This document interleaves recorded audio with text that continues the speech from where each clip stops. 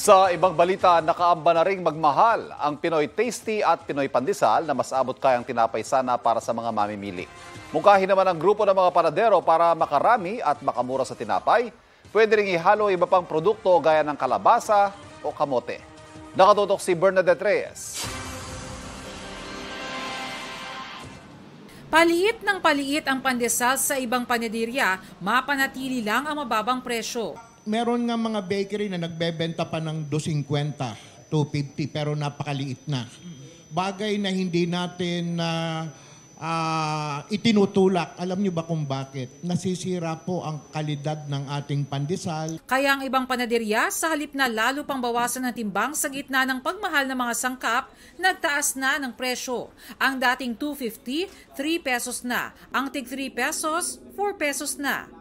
Maging ang Pinoy Tasty at Pinoy Pandesal na programa ng mga malalaking manufacturers ng tinapay, katuwang ang DTI, para sa mas abot kayang tinapay, tataas na rin ng 4 pesos kada pack. Ang Pinoy Pandesal na 23 pesos and 50 centavos ngayon, planong itaas sa 27 pesos and 50 centavos. Ang Pinoy Tasty naman na 38 pesos and 50 centavos ngayon, maaaring maging 42 pesos and 50 centavos.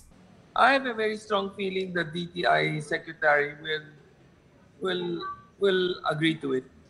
If, for example, the price of bread could not be adjusted, then the the income of the bakers could not go up, and the ability to pay will be very limited.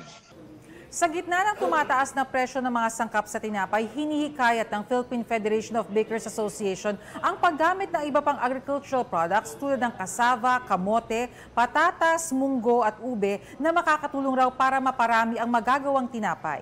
Ang mga agricultural product po ng ating bansa ay pwedeng gamitin ng mga panadero o ihalo sa panggagawa ng tinapay. Ang Food and Nutrition Research Institute ng Department of Science and Technology gumagamit na rin ng iba't ibang agricultural products sa kanilang mga dinedevelop na food products tulad ng Nutriban.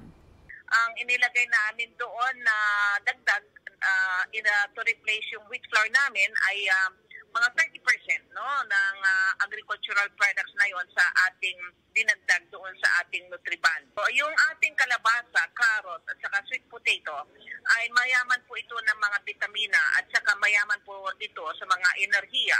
Dahil hindi pala ganap ang paggamit ng naturang agricultural products bilang sangkap sa tinapay, ayon sa mga panadero, maaaring mataas pa ang presyo ng mga ito pero may magagawa raw ang pamahalaan. Yung magsasaka dapat may bumili o direktang mabili namin ang mga produktong kanilang inaani. Talagang mas mahal pa. Pero the thing is, masustansya naman, lalo pa pag nilagay mo kalabasa at malunggay. Bernadette Reyes, Nakatutok, 24 Oras. Magandang balita mga kapuso, kahit ano pa man ang oras, mapapanood ang 24 Oras Weekend at iba pang newscast sa youtube.com slash GMA News. I-click lamang ang subscribe button. Sa mga kapuso abroad, maaari po kaming masubaybayan sa GMA Pinoy TV at www.gmanews.tv.